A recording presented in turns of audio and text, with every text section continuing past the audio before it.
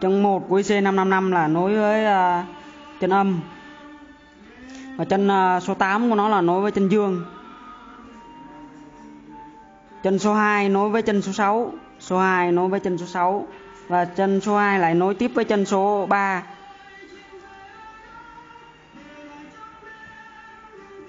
một cái của con biến trở thì nối với chân âm và một cái nối với chân dương.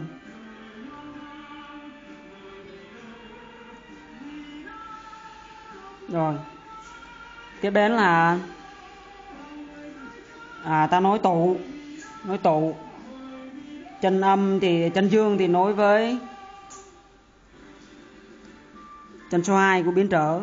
Và chân âm thì nối với đầu âm của nguồn vào.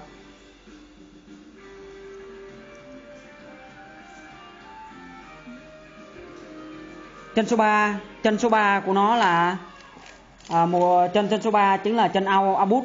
Chân này là để lấy tín hiệu ra logic và trạng thái của nó được xác định là 0 và 1 một ở đây là mức cao. Và nó tương ứng là gần bằng à, nguồn cung cấp. Và ở mức 0 à, tương đương với 0V nhưng trên thực tế là không là không được. À, mà nó ở khoảng từ 0,35 cho đến 0,7V à, đấy chân số 3 đây. Nối với 123 chân số 3 nối với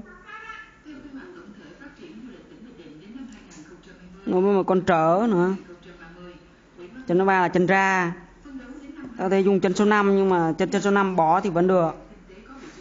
Bởi vì ở chân số 5 thì uh, mục đích của chân số 5 là nó là control uh, nó là chân uh, thay đổi mức áp chuẩn trong IC5555 theo các mức uh, biến áp ngoài đây ta nối tiếp nó với một cái con điện trở 220 điện trở 220 là nó gồm mà à, đỏ đỏ nâu. Điện trở đây đỏ đỏ nâu. Nối tiếp.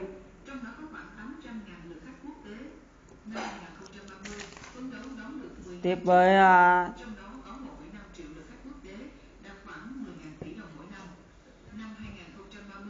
tiếp với Trần Dương.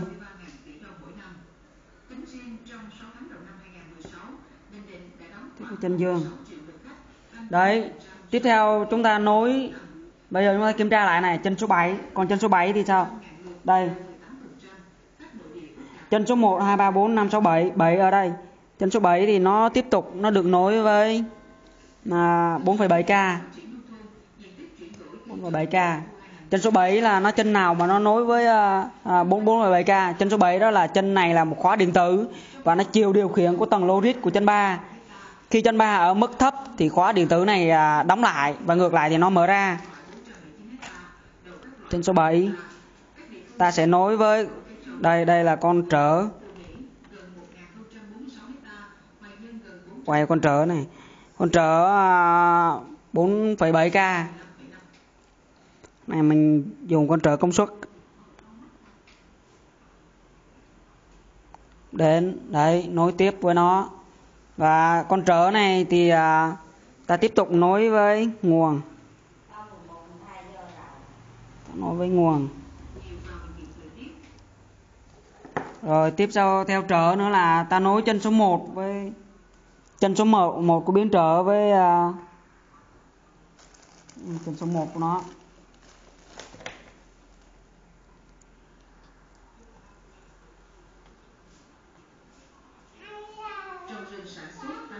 Trên số 1 ta nối với à, à, 47k đây. Tiếp theo chúng ta kiểm tra lại này. Trên số 1 đã nối với đã nối với đất chưa? Trên số 1 đó là của IC555 là nối đất. Trên số 8 trên số 8 đã nối với nguồn dương rồi. Nó hơi lỏng đấy đã nối với một led ở chân số 3 chân số 3 nó mình nhắc lại một lần nữa chân số 3 là chân này lấy tín hiệu à, logic ở lối ra. Và trạng thái của tín hiệu nó sẽ là không và một. Một ở đây là ở mức cao và nó gần bằng nguồn cung cấp.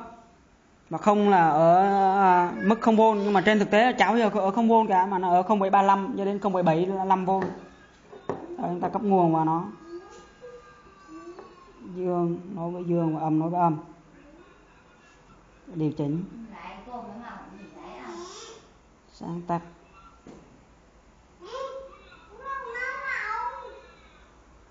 Khả năng là sung nối bị sai rồi.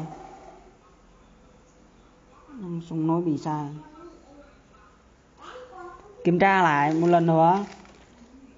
Chân số 4 nối với chân số 8 đã nối chưa? Nối rồi. Chân số 8 nối với dương.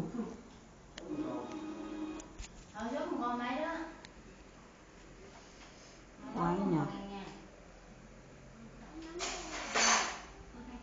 tắt đi em em. Chút nữa.